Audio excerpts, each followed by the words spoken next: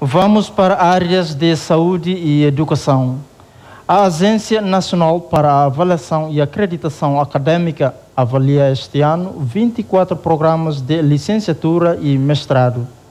Para mais informações, vamos acompanhar a declaração do diretor executivo da Agência Nacional para a Avaliação e Acreditação Acadêmica, Edmundo Viegas.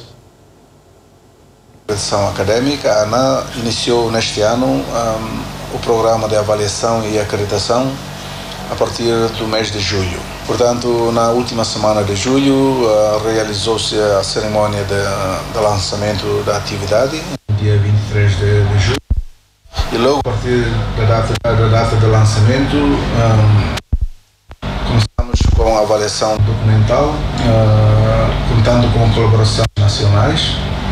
E a partir da, da semana do dia 16 e 17 de agosto, iniciamos com a visita.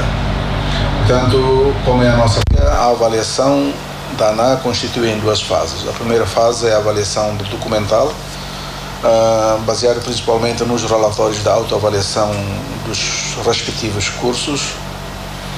Uh, e a segunda fase constitui numa visita de avaliação a, a, aos locais. E neste caso, as universidades cujos cursos são objetos de avaliação. Portanto, a visita de avaliação iniciou-se no dia 16 de agosto mas infelizmente na semana do dia 27 de agosto até princípios de setembro tínhamos que suspender a avaliação de sete cursos inicialmente agendados para serem avaliados e só hoje, a partir desta, desta segunda-feira, reiniciamos a avaliação com um curso da formação física e desporto da UNTEL. Este, este, este, este curso uh, estamos a falar de uma reavaliação uh, para no âmbito da reacreditação do curso que foi que não não não não foi apurado na, no processo de avaliação e acreditação dois anos não em 2018 portanto e pretendemos uh, dar continuidade a, essa, a esse programa de avaliação e acreditação até os finais de, de novembro Uh, contamos com a boa cooperação de todos os reitores. Hoje, principalmente, a, tivemos a honra de ter a, a, presença do magnífico reitor da UNTL com toda a sua estrutura, embora alguns uh, a nível uh, via plataforma virtual, mas foi, uma, foi um evento muito em termos de discussão e contamos também a, a com a presença através da plataforma virtual do, da nossa avaliadora internacional da Malásia. Portanto, estão neste momento no terreno dois, dois avaliadores nacionais e uma avaliadora internacional a avaliar o curso de, de bacharelato em Educação Física e Desporto da UNTEL. Todas as semanas, a partir de hoje até os fins, os, fins de novembro, temos a, já o, o calendário todo preparado uh, e agendado para avaliação de cursos e, e a partir de outubro até novembro contamos com a avaliação de, de oito instituições no âmbito da avaliação e acreditação institucional.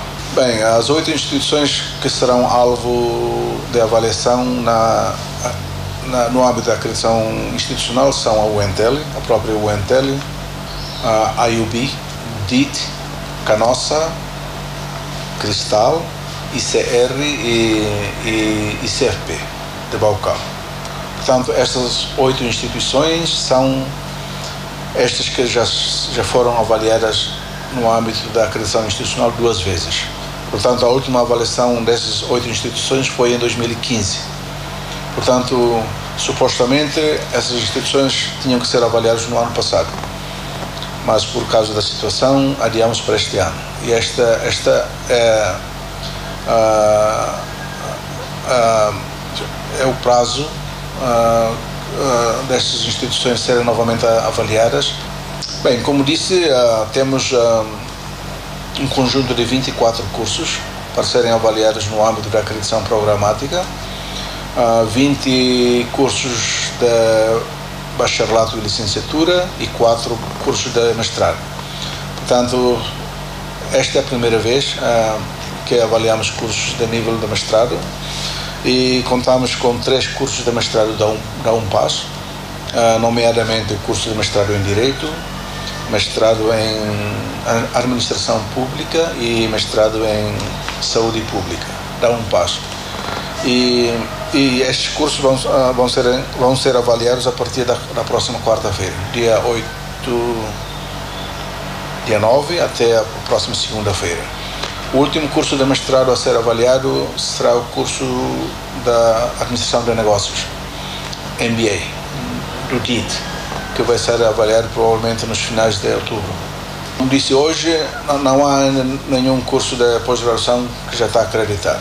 Portanto, estamos a falar de cursos autorizados a, a operacionar, a operar. Uh, portanto, temos uh, por volta de 20 e tal cursos de mestrado uh, oferecidas por seis instituições de ensino superior, nomeadamente a UNTEL, com provavelmente oito cursos de mestrado, a UNPAS com seis, a IUB, a IUB com três cursos de mestrado, o DIT com um curso. E recentemente, eu acho que foi este ano ou no ano passado, a UNDIR também teve autorização de abrir um curso de mestrado em Direito. E o Instituto Superior também teve autorização de oferecer um curso de mestrado em Educação.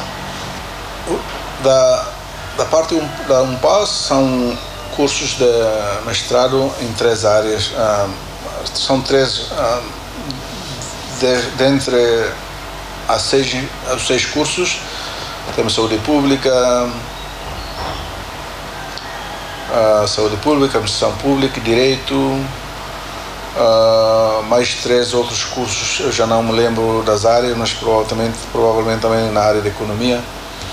E da Wendel também uh, tem alguns cursos, mas uh, na área da, da gestão de recursos naturais, medicina tropical, mas não me lembro bem de todos, mas Uh, é, são a UNTEL e a UNPAS que presentemente estão a oferecer maior número de cursos de mestrado, a nível de mestrado. É?